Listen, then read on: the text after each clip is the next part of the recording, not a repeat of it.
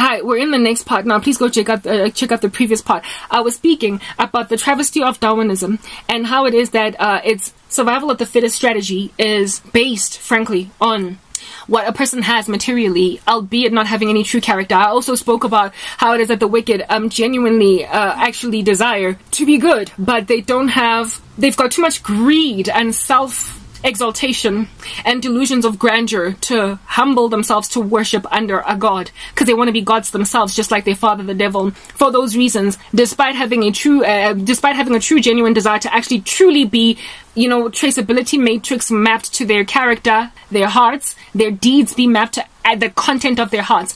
Despite that being a true desire, they nonetheless quiff current it in exchange for cooing the true righteous. How it is that this ultimately works itself out is that society ends up crumbling um, at the seams. It falls apart because the wicked are respected at the expense of the righteous. And one of the biggest reasons why the righteous get disregarded or overlooked over the wicked is because of their life conditions. It is because of their circumstances. Many are the afflictions of the righteous, but the Lord delivers him from them all. These afflictions sometimes look like poverty. They sometimes look like a woman living at the back of her mother's house in a shack. At the age of 38, they sometimes look like a woman who is yet to be married at the age of 38, and so therefore she appears to be unmarriable. She appears to be something that was rightly passed up. Uh, and so what's there to marry? It's over for her, right? And so men just like walk right by me, glide right by me. In the spirit of your 38, really, I'd much rather go for a 28 year old or a 23 year old. It looks like no money. It looks like a packed up car. It looks like no respect. It looks like having no, uh, what is this, laptop when you're in dire need of one so that you can do your YouTube edit, edits. It looks like bad quality videos, albeit the content of the that, that, that um video being high. It looks like squalor.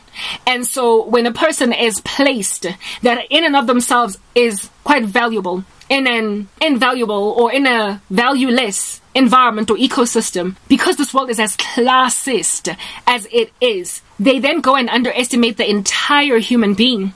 Whereas the scriptures, and this beats me to a pulp, black and blue, frankly, because people who profess Christianity should know better than that, due to the fact that the scriptures make it clear that what we are is treasure in jars of clay. So we know from the get go, from the onset, from reading the Word of God, that Christians will sometimes come cloaked in poverty, in rags, in garments that aren't you know, queenly or priestly or kingly, they will come with bad hair, they will come with illness, with alopecia, they will come with bad skin, they will come with bad, um, like treatment by their ecosystem, they will be persecuted. Christians will come with a prison cell around them because they've been arrested for their faith or whatever.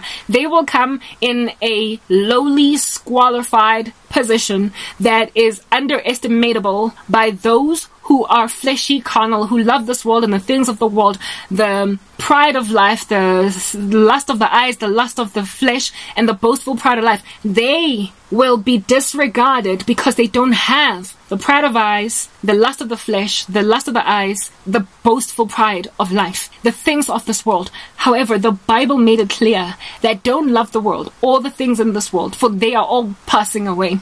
So when you call yourself a Christian and you underestimate a, a, a, believer, a Christian, that is coming in the lowliness of my particular ecosystem, you are not reading the Bible. You have got a pamphlet, some skinny little thing that you call the Bible that oh petang through with little seriousness even with little concern for the words they're in. They don't but jump out at you from the pages when you read the scriptures. You are building your house upon the sand and in so doing that you will inevitably unfortunately very much for you then follow after these random charlatans out there that it is written of that you will gather for yourself a great deal of them to teach you what your itching ears want to hear because you will not endorse sound doctrine.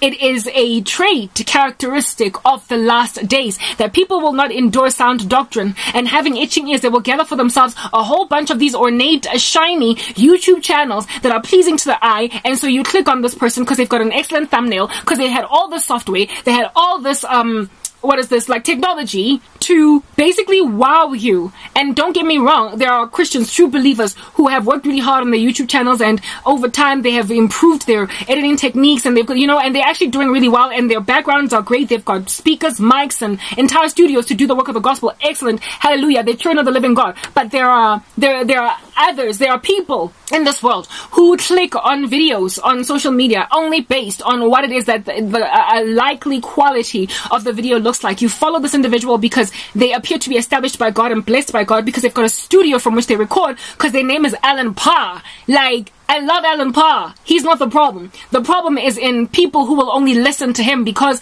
he has established his ministry and gotten to a point where he can do that. It is that then that causes people on the ground to refuse to support or help the believers of the Lord Jesus Christ that are still struggling and on the come up when the Lord has called us, all of us who are in Him, and chosen all of us who are in Him, that we might do a work. And what we are doing is equally important in the sense that people need to hear because God has set apart Karabo to speak a certain thing that perhaps Brenda on the left and Peter on the right has not been given to give, even though they're both disciples. So if you listen to only Brenda, and so only Brenda and half of Peter's message and nothing of Karabo's, because Brenda had a great studio, Peter was, you know, had a catchy thumbnail, and Karabo just came from this dull, bland environment, and she had multiple parts. She's loquacious. She keeps on talking. I wanted nice and succinct because I'm part of the TikTok generation that is injected with dopamine addiction.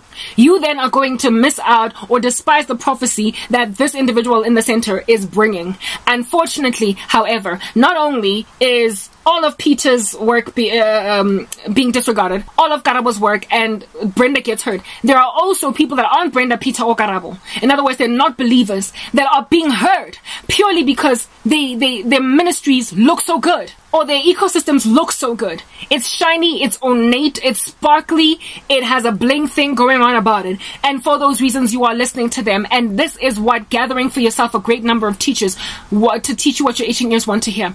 I keep on hearing in the spirit deposited in, into me by God, people saying of me, God doesn't care about her. Why? Why would anybody say that of me? They would say that because my life is hard. I'm living in squalor and I've lost everything. Literally everything I had, I've lost it. I am this woman that has got great potential and yet nobody's even trying to expand on it. I am ostracized, abused, closed out, and isolated. And that is the reason why apparently God doesn't care for me. Literally, your Bible is a pamphlet. It is a skinny little thing, skinny little thing that has got one or two pages, so petlang, and even then words don't bounce out from that little pamphlet. Because the Bible made it clear that if anybody wants to live a life in Christ, they will suffer persecution. And that many are the afflictions of the righteous, but the Lord will deliver him from them all. And that when we suffer, we partake in the sufferings of Jesus Christ. That um, great is our reward in heaven when we go through these things for um, in the same way our forefathers suffered in the same way as we did blessed are the persecuted that we should not consider it strange when we go through trials of different kinds. That this is the basically portion of the disciple to go through it. You disregard the martyrdoms of old. The fact that all of christ's disciples except for one died a martyr's death john at patmos didn't die a martyr's death the rest of them did. You you take out the component of christianity that has been explained to us as a fact of our work as our walk, the persecuted part, that everyone who wants to live a life in godliness will suffer persecution. Every last one. So to disqualify me as a child of the living God based on the squalor that I'm living in and the sorrow is to basically ignore a whole chunk of your Bible. If anything, my life confirms the scriptures. It validates that I am in Christ. The prophecies of the Lord about how your life is going to look when you are a disciple have been fulfilled in my life. Power has been restored, as you can see. I don't know if you can tell, uh, charge only. Uh, because I've been speaking throughout the podcast. I finally prospered. The, what you're hearing in the back there is a fan just going and going and going. That was off. This, this situation that I am having to survive like this to a point where I overcome a podcast by rapping on like this. This is what it means to conquer, to trample serpents and scorpions underfoot and all the power of the enemy and nothing shall by any means harm us. I am more than a conqueror and I am an overcomer because I went through a very depressing power cut by giving the gospel and yet I'm underestimated. Next part.